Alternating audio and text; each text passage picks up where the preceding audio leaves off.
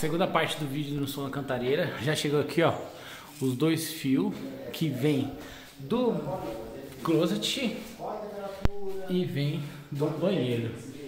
Olha que banheiro top. Então, ligou quatro caixas no amplificador. Vai ligar a direita com o do banheiro, a esquerda com o closet, vai ligar em paralelo, essas alto-falantes são 8 ohms, vai ligar em paralelo, 8 com 8 são 4, aí vai chegar 4 ohms aqui no amplificador, 4 alto-falantes e vai dar tudo certinho, tá bom?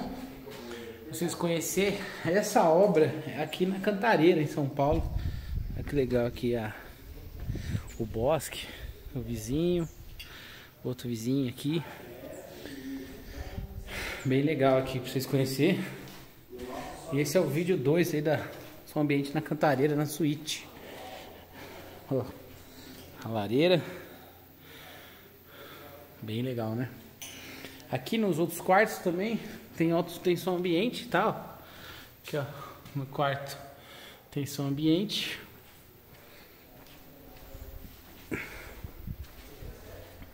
No outro aqui tem som ambiente, tá? Essas caixas que eu tô usando uma caixa da Input Speaker, tá? É uma caixa de 220 reais cada uma, tá bom?